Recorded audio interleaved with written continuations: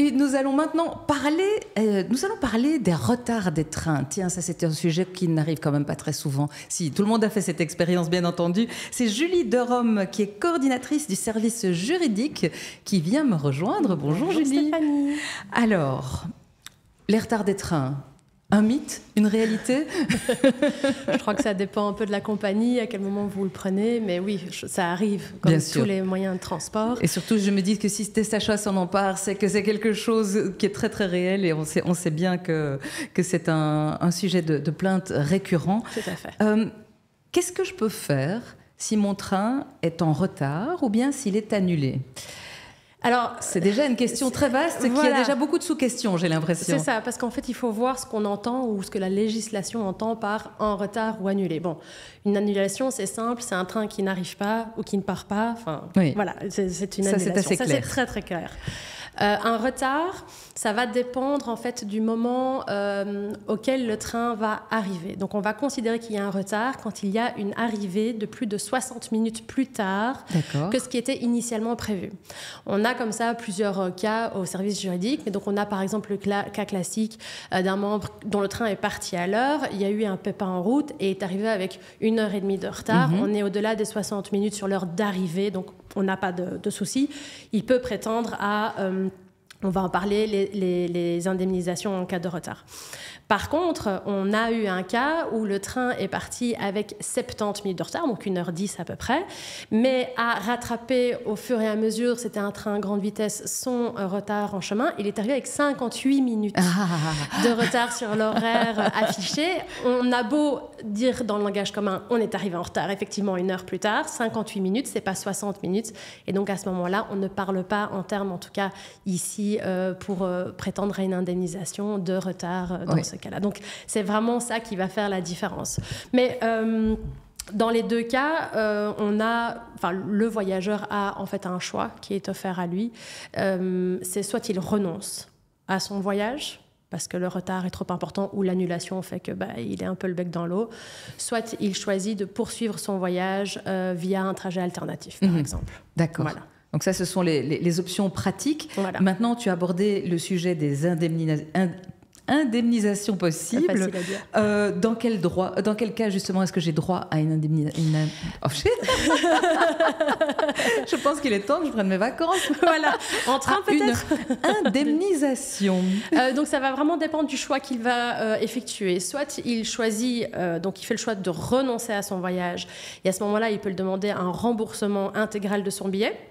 Ce qui est intéressant, c'est que, euh, par exemple, on a un membre qui avait un Charleroi-Bruxelles, Bruxelles au stand. C'est le Bruxelles au stand qui a posé problème. Donc, il va demander le remboursement de son Bruxelles au stand, mais il va aussi pouvoir demander le remboursement de son Charleroi-Bruxelles parce que cette partie-là du voyage n'avait plus de sens Oui.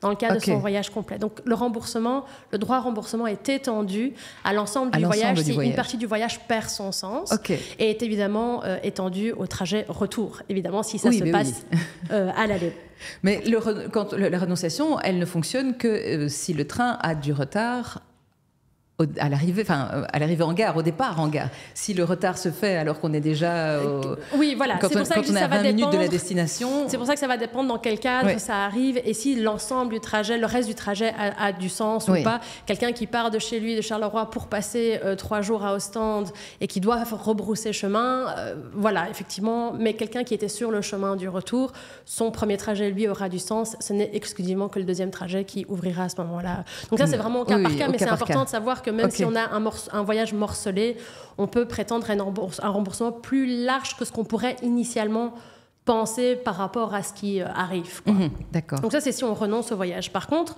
on a tout à fait la possibilité de dire, moi, je le continue. Euh, alors, on poursuit ce voyage avec un trajet alternatif, soit tout de suite, soit on dit, je le poursuis, mais plus tard. Donc, on peut postposer ce voyage. Euh, il faut savoir que là, il y a une obligation de la compagnie ferroviaire qui, notamment, vous donner l'alternative dans les 100 minutes qui suivent.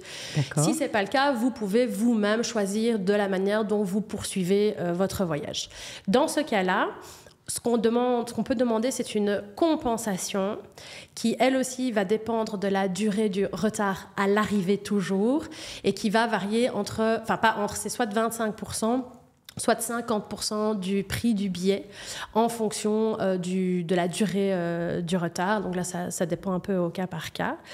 Euh, avec une petite particularité, mais qui est de bon sens, c'est que quelqu'un, on a eu un membre comme ça qui a pris son billet alors que le retard avait déjà été annoncé mhm. en gare. Il est évident que dans ce cas-là, on ne va pas pouvoir demander cette compensation. On le savait au moment où, où on a pris les billets. On prend le billet, exactement. Mhm ça, c'était vraiment pour faire la distinction, mais dans les deux cas, il y a une chose qui est primordial aussi et qui incombe aux compagnies ferroviaires, c'est qu'elles doivent porter assistance. Mhm. C'est-à-dire que euh, on doit prévoir à manger, à boire quand des trains sont bloqués en quai, quand les durées d'attente sont vraiment longues, etc. Dans certains cas, si c'était le dernier train du soir et qu'on a des gens qui sont loin de chez eux, de pouvoir les loger sur il faut pouvoir prévoir un hébergement. Ça, cette assistance implique aussi les trajets entre la gare et l'hébergement, etc. Mais donc voilà, il y a là aussi euh, une assistance qui peut être demandée et dont on peut euh, se faire rembourser euh, le cas échéant en fonction mhm. des circonstances, euh, les frais. Une petite précision que j'aimerais intercaler. Ici, tu as, tu as pris l'exemple, par exemple, d'un Charleroi-Bruxelles, Bruxelles-Ostende. Ce sont des règles qui s'appliquent uniquement au réseau belge ou bien ça s'étend hors de Belgique également? Alors c'est une législation qui est européenne, donc ça vaut pour les trajets transfrontaliers.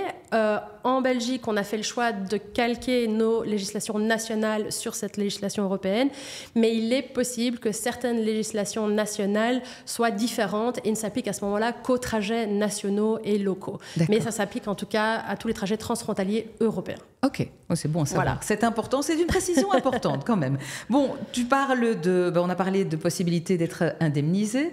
Comment, euh, comment est-ce que je peux, mon train effectivement euh, a eu du retard ou a été annulé, comment introduire une demande d'indemnisation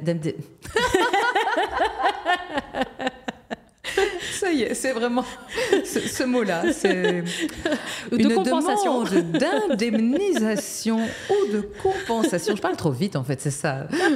C'est comme, un train à grande vitesse, voilà. Euh, bah, à l'ère de la technologie, euh, aujourd'hui, c'est relativement facile, c'est-à-dire qu'on peut, en tout cas avec la SNCB, euh, on peut le faire en ligne directement sur le site de, de l'entreprise. on voit que dans les propositions qui sont faites, soit c'est un remboursement sur compte bancaire, soit c'est en bon à valoir, bon d'achat, etc. Mais c'est au libre choix du consommateur mhm. qui peut choisir ce qu'il préfère. Euh, le petit type que je peux peut-être donner, c'est de dire, en vue de faire cette réclamation, c'est de conserver toutes les preuves possibles de l'annulation du retard. Mhm. La meilleure preuve qu'on puisse avoir, c'est obtenir une espèce d'attestation en gare. On peut aller au guichet et demander une attestation comme quoi le train était annulé ou euh, avait du retard. Si c'est pas possible parce que bah, le guichet est fermé, on est dans un euh, horaire qui ne le permet pas, un screenshot du tableau d'affichage, euh, enfin une photo du tableau d'affichage, un screenshot sur notre téléphone, par exemple, de l'app euh, des trains, etc. Mais tout ce qui va permettre de euh, appuyer notre demande de compensation et d'éviter au maximum les discussions au moment où on les introduit. Maintenant, il y a aussi toute une série d'exceptions dans lesquelles on ne va pas rentrer, mais il est possible que dans certains cas que l'entreprise, la, la compagnie va considérer comme étant de la force majeure, cette ces remboursements, ces compensations et indemnisations ne seront pas dus. Euh, parce que c'est indépendant de la volonté de la compagnie, euh, de la compagnie aérienne. Non, Il faut savoir qu'une grève... Ferroviaire. ferroviaire. ferroviaire. ferroviaire, absolument. Tu besoin de vacances. Euh, il faut savoir qu'une grève du personnel n'est pas considérée comme un cas de force majeure parce que c'est quand même quelque chose qu'on entend souvent. Mais donc voilà, quelqu'un qui fait un malaise dans le train, par exemple, pourrait être considéré des météos, euh, des météos extrêmes dans certains cas. Enfin, de voilà, de neige sur les voies. Ça dépend un peu de nouveau cas par cas, mais c'est une possibilité qui, qui, existe dans le cadre de l'indemnisation. Bon à savoir. Et donc c'est noté. En tout cas, merci beaucoup d'être venue, Julie Avec pour nous parler de tout ça. À bientôt. À bientôt. bonnes vacances, repose-toi bien. Bah, toi aussi. Moi hein. aussi, c'est promis.